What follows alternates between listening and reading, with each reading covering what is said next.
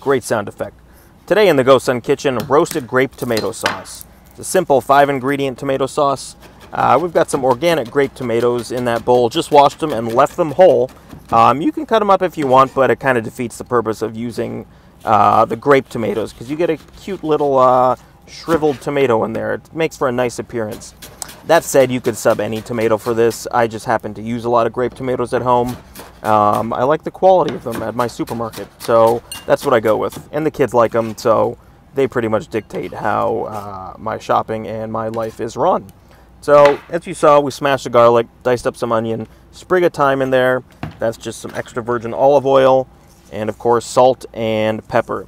Uh, you could add other herbs to this, basil if you wanted.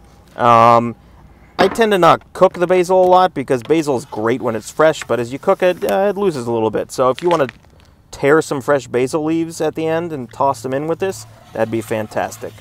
Um, so you saw, toss it all together, slide it into your GoSun grill, which I've got now. I'm in the big time roasted grape tomato sauce in the GoSun grill.